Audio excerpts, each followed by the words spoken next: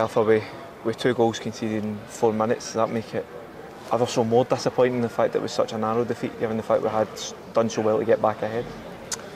Yeah, I mean, it, it, it's uh, bitterly disappointing to concede in the manner, you know, uh, uh, hopeful ball into the cross, uh, hopeful ball into the box, and then um, not dealing with that misjudgment, and then uh, a long hopeful ball forward from deep and not not handled. Um, the three players inside our back four and just not being compactive, uh, compact enough, and we haven't been competitive enough uh, in the aerial encounter there. But um, I, I, feel for the lads, you know, because I thought we played some really good football today. It was a vast improvement in terms of the possession-based stuff, and um, the the, sec- the first goal we scored was absolutely uh, uh, fantastic. But um, you know, we've got to pick ourselves up and, and go again. It's it's um, it's the teams that wilt, you know, over the period of, the season um, that will will go under. But we're uh, determined to, with a little outfit that comes good. What do you think of the, the reaction the lads showed at half time to get the goal so early on after after the restart? Well, it was a brilliant reaction. We just said, look, we've got belief in you. Pass the ball. You know, it opens up here um, on a good pitch.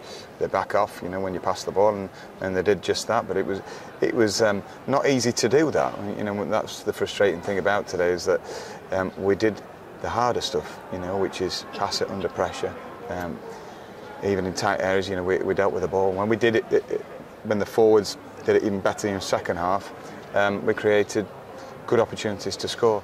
And even after we conceded the third, I thought you credit to the players' spirit. You know, we, we created two more opportunities and didn't quite go our way. Um, there are things to work on and build on, um, definitely from an attacking, attack, the attacking side of things. And so we can't just all brush it off as a disaster because of the last four minutes. Was there element of luck involved in the, the final four minutes because of the added time because I created two good chances. They didn't panic under with time running out, knowing mm. they needed the goal, but it just they were unlucky not to get that ball. Yeah, I, I mean, sitting there, you know, I've uh, seen a rerun of, of the goals and we backed off from a throw in 35 yards and, and, no one went to go and press the ball that was eventually crossed into the box. The lad's offside, Hudlin's offside, and um, when you're down there, things don't quite go for you uh, sometimes, but we can't uh, play the victim on that. You know, we've just got to be calmer. We've got to think uh, with real clarity. Um, I say there were. It was from a creative point of view today. We're a lot better um, off than the other night.